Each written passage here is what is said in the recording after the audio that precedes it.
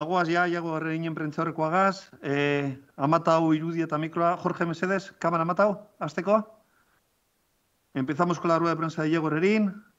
Mantenemos micro y cámara apagado, solamente lo encendemos para formular la pregunta. Y empezamos con Raúl Jiménez, Radio Popular. Cuando quiera, Raúl. Sí, eh, Apa ¿qué tal? Raúl Jiménez, Radio Popular. Quería pedirte que, no sé, que hicieras un resumen de, este año, desde verano, que parece que vas a salir, no sales, eh, luego en invierno tampoco, tampoco has contado para los entrenadores. No sé, ¿cómo ha sido este año desde que te quedas en el Atlete? Gracias. Bueno, la verdad es que ha sido un año, un año duro dentro de lo que cabe. Eh, es cierto que quizás el peor año para para buscar una salida. El tema de que estamos viendo ahora mismo en todo el mundo pues no, no ha facilitado la salida. Es cierto que, ha habido más cosas que solamente eh, lo que se puede saber y, bueno, al final en el momento en que, en que me quedé en verano, debido a muchas circunstancias, pues bueno, eh, empecé a entrenar, ya el club tenía claro de que, de que iba a seguir aquí y en invierno, pues bueno, yo hablé con el club sabiendo que que si había alguna cosa interesante eh, la aceptaría, pero que tampoco iba eh, a coger lo primero que me viniese y así fue. Hubo algunas cosas, eh, no me interesaron en ese momento y bueno, decidí entrenar aquí, ayudar al equipo como creo que ayudaba hasta el día de hoy y, bueno, al final había dos finales de Copa también bonitas que, bueno, me gusta, me, me apetecían vivir y y nada, eh, hasta el día de hoy entrenando eh, a expensas del club y, de que si el entrenador me necesita en cualquier momento iba a estar ahí para ayudar. Hola, Iago, eh, Alberto Santacruz de Radio Marca. ¿Cómo te has sentido a nivel de valoración en tu trayectoria en el club y ahora en el final? ¿Te sientes valorado? ¿Te has sentido poco valorado en la trayectoria y en este final? Bueno, al final es cierto que es, llevo ocho años aquí, he tenido de todos sentimientos, he tenido, he tenido de todo en la cabeza y bueno, eh, es cierto que, al principio pues cuando juegas siempre te sientes más valorado, eh, poco a poco pues ese, sentimiento pues igual se te va, pero es cierto también que de, un, tiempo, de un tiempo atrás aquí pues eh, me he sentido querido, me he sentido bastante valorado y bueno, es con lo que me quedo. Me quedo que al final, eh, el día que, que decidí y decidieron el club eh, no renovarme, pues tuve palabras bonitas de todos los compañeros, de, mucha afición, de gente que, que, está jugando, de compañeros de, de, puesto y eso es lo que me quedo. Entonces, bueno, entiendo que algo bueno habré hecho y que, y que bueno, que, que al final es, es con lo que me quedo. No, Payago, Gorka de, de, Onda Cero. Eh, ocho temporadas, 119 partidos en diferentes competiciones, diferentes momentos que, has vivido en el, en el club. ¿Con, con qué te quedas? Eh, siempre en la despedida no es la, la típica pregunta. ¿Con, ¿Con, qué te quedas en esos ocho años, con esos 119 partidos? Bueno, me quedo de todo. Desde el día que pude estrenar San Mamés, al día de mi debut, que debutaba como local en, en Anoeta, y y bueno, hasta la final de Copa y hasta ganar un título. Me quedo con todas las cosas buenas, con todas las cosas bonitas, con todos mis compañeros que, he tenido, eh, que tengo y, que posiblemente que, tendré y, para mí eso es lo, fundamental. Y bueno, una vez, una vez que se cierra un ciclo por una manera, el sentirte querido dentro de un vestuario, el que, bueno, que todos te reconozcan eh, la labor que has tenido en todos los momentos, juegues, no juegues, estés bien, estés mal, pues al final es una cosa que, qué es lo que, lo que te queda y es con lo que, con lo que me voy tranquilo a casa, con la cabeza bien alta y es lo que, lo que, más, lo que más me ha podido gustar. Ah, eh, yo no sé si eh, puedes achacar quizá un poco a esa, bueno, mala suerte, o si tú llegaste al Atlético, volviste al Atlético, mejor dicho, eh, en, el momento igual, no sé si menos oportuno. Siempre has tenido por delante a grandes porteros, a Iraizoz, luego apareció Kepa, eh, andaba también por el Remiro, luego Unai Simón, yo no sé, has tenido que competir pues con, los mejores guardametas de, de la liga, ¿no? ¿Te queda esa espinita un poquito al marcharte?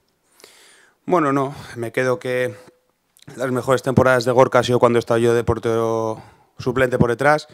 La mejor temporada de Kepa es cuando yo estaba detrás suyo apretando y la temporada año pasada de Unai cuando, cuando debutó, que fue un temporadón, también está ahí detrás apretando. siempre les vacilo a tanto a Kepa como Unai que, que al final soy yo el que les lleva a la selección más que otra cosa. Pero bueno, es cierto que, que no. Bueno, Espinita no. Al final es fútbol, es fútbol, eh, es duro. Eh, he jugado 119 partidos aquí. He disfrutado de mil partidos, eh, con San Amés lleno, una final de Copa, partidos en Europa. No lo cambiaría por nada. al final es con lo que me quedo, con lo que quiero quedarme y con lo que al final el recuerdo es lo, importante. Apayago, Kevin Doyle, Durán Aldeco Televista.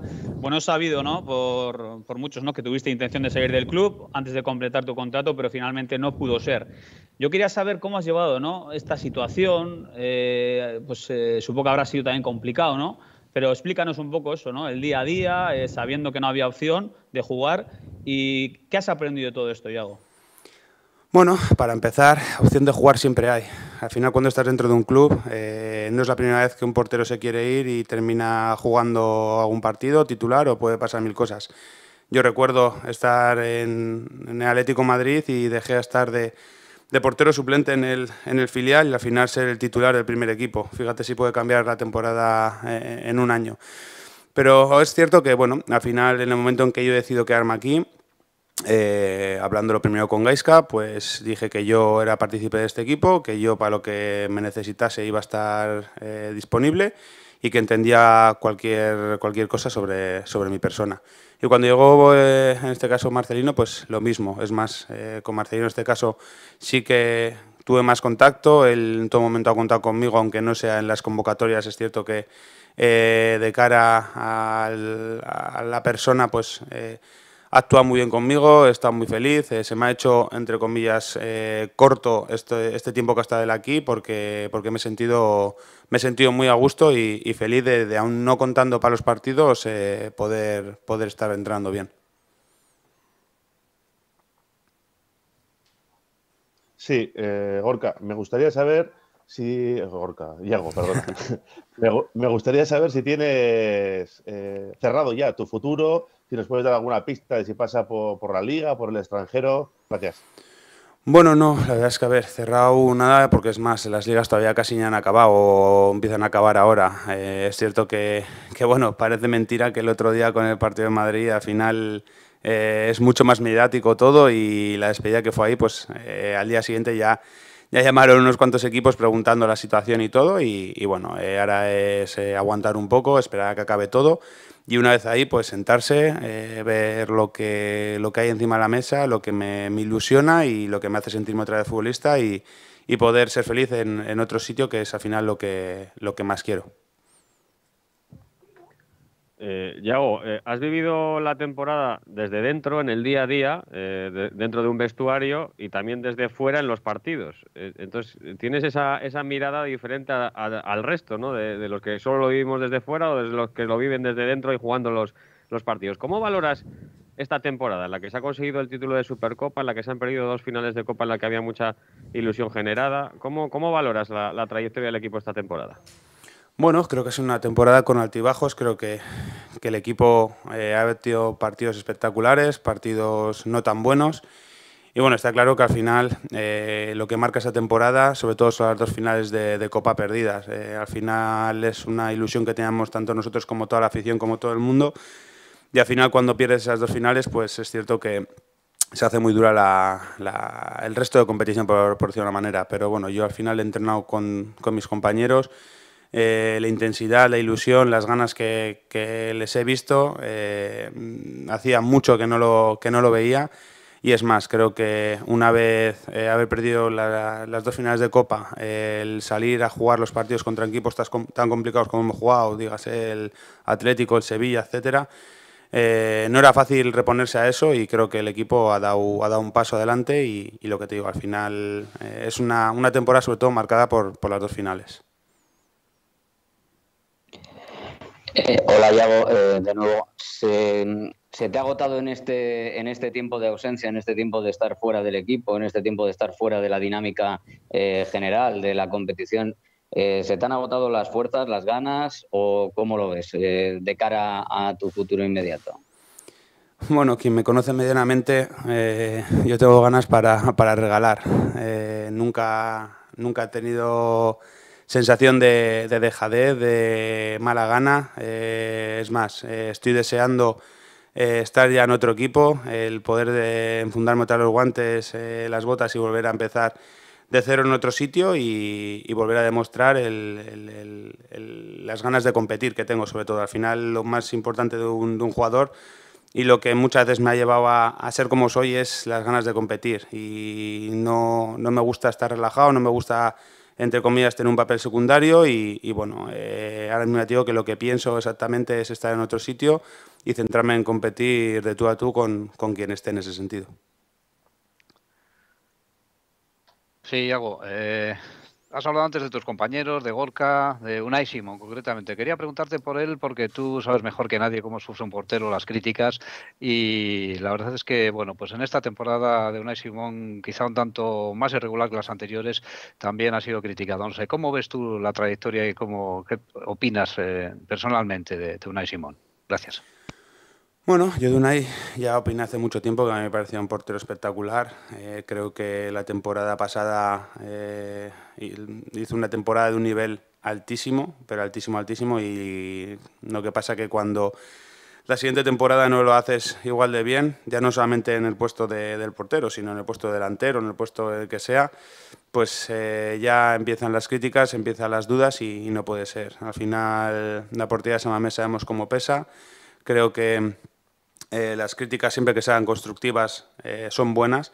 Eh, por suerte yo he vivido destructivas y, más de una vez he leído ya alguna destructiva también para UNAI y me sienta fatal porque ante todo lo que hay que hacer es apoyar. Creo que UNAI tiene un nivel altísimo, no UNAI, o sea, todos los que vienen, Joking, todos pueden tener un nivel altísimo, lo han demostrado y a día de hoy lo que hay que hacer es apoyar, apoyar tanto los de prensa como la afición, como todo el mundo y, y volverá el nivel que tiene UNAI porque sé que que va a volver y, lo va a demostrar. Apayago, Kevin Doyle de nuevo. Hombre, supongo que será duro, ¿no? Dará pena, ¿no? Ya estás asimilando, ¿no? Que esto se termina. Pero yo quería preguntarte, ¿no? Eh, para ti, ¿qué ha sido el Atleti? Y que mandes un mensaje a la afición. Gracias. Sí, es duro. La verdad es que, bueno, eh, no sé si por suerte o por desgracia también he tenido que salir de aquí y he tenido pues, eh, unos paréntesis antes de, acabar aquí. Pero es cierto que al final entre categorías inferiores, primer equipo y todo, pues sí que llevo casi media vida aquí, por decir una manera. Y sí, sí es duro, es duro porque al final los compañeros es lo, mejor que tengo. Eh, eh, me quedo con ellos siempre. El, ya el cariño que he recibido estos días es una cosa que, que bueno, que lo recibía siempre en el vestuario, pero no tan, tan exagerado como, como últimamente y para mí es, es, importante. El Atleti para mí, yo lo he dicho mil veces, eh, para mí es mi vida, al final ha sido mi club, eh, es el, equipo desde el que he sido, soy desde chiquitito y, y, que para mí era un sueño el debutar, el poder competir eh, en esa portería y lo he conseguido. Lo podría hacer mejor, lo podría hacer peor. Lo que tengo claro es que me voy con la cabeza alta porque siempre he sido yo y siempre me, me he autoexigido mucho. Eh, a raíz de ahí, pues bueno, eh, todo el mundo que me ha apoyado, a la afición que, siempre eh, no me va a quedar nunca con lo malo, me va a quedar con lo bueno y, es cierto que, que por cuatro energúmenos no puedo pensar mal de todo el mundo. Me han tratado genial, es más, últimamente, como he dicho, me, ha sorprendido eh, gratamente todo, todo el apoyo que he tenido de toda la afición y con eso me quedo. Al final eh, hay que ser agradecido siempre y para mí el atleta y la afición y, los jugadores y club es lo, más grande que, he vivido hasta ahora.